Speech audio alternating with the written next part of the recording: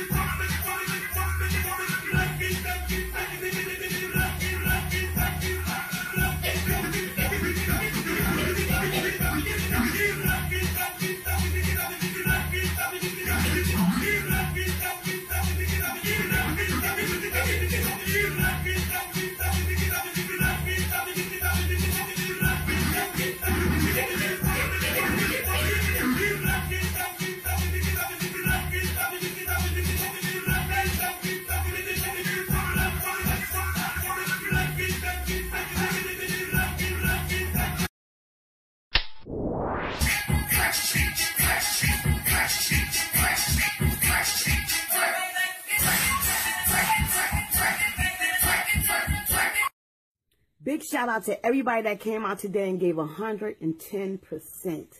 Believe me when I tell you, if you'll never learn how to step out of your comfort zone, you'll never know what it really is to get real results.